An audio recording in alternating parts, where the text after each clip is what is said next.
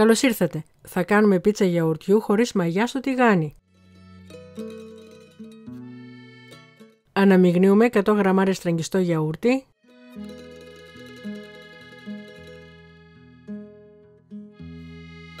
Με μία κουταλιά ελαιόλαδο.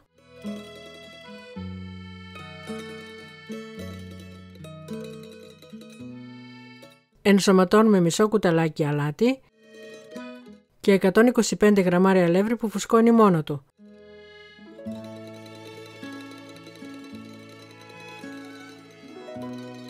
Δουλεύουμε καλά να γίνουν ζύμη.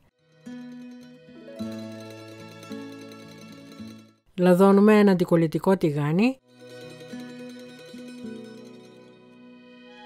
Ανοίγουμε την ζύμη σε λεπτό φύλλο.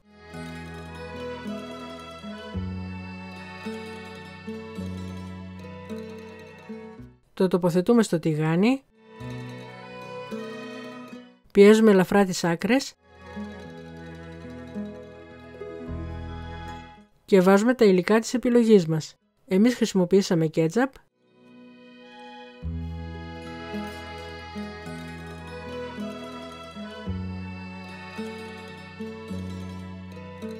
Ρίγανη.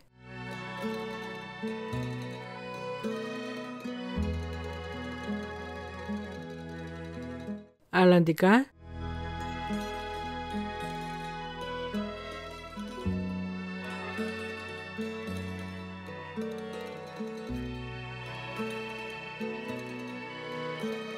Μανιτάρια.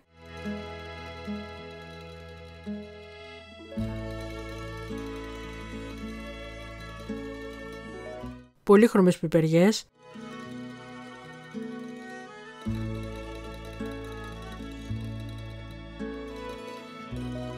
και τριμμένο κίτρινο τυρί.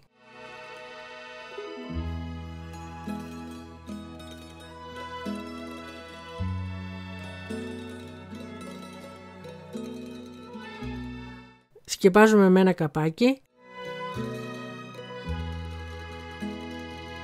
και ψήνουμε σε χαμηλή φωτιά.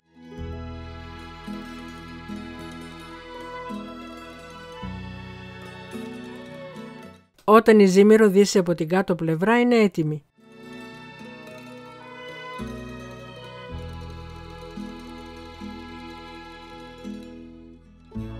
Κόβουμε σε κομμάτια και σερβίρουμε. Περισσότερες πληροφορίες για τη συνταγή θα βρείτε στο link στην περιγραφή. Αν σας άρεσε το βίντεο κάντε like και αφήστε το σχόλιο σας. Καλή επιτυχία!